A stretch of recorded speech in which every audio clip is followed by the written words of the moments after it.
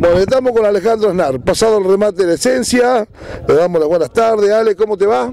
Bien, todo bien, todo bien, por suerte. ¿Ustedes, Alfredo?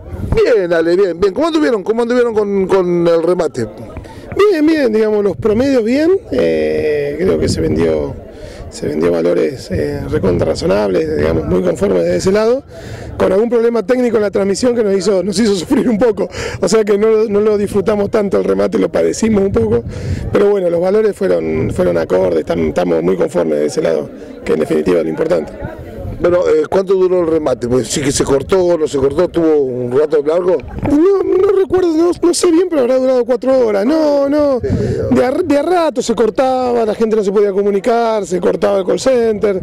Bueno, fue, fue una jornada de mucho estrés para uno, pero bueno, ya está, ya pasó, lo sacamos adelante. ¿Cuánto los precios de la cabeza de remate de los toros? Y los toros alrededor de entre un millón, la, la cabeza de remate entre un millón cuatrocientos y un millón ochocientos. Muy bien, muy bien. El año año pasado hizo el mejor precio tuyo. No me si el año o el anteaño fue el que más, más caro se vendió. Sí, el año pasado, el año pasado. Sí, este año capaz que mm, no hubo un precio tan alto, pero hubo varios precios altos. Como también a lo último hubo varios precios bajos. Fue un remate raro, como que arrancó muy arriba, vendiendo toros muy caros y después se terminó vendiendo toros muchos al precio de la preoferta, digamos.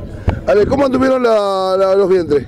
Los vientres bien, eh, te diría que muy bien. El, eh, muy por encima de, las expectativas en cuanto a precio. Sí.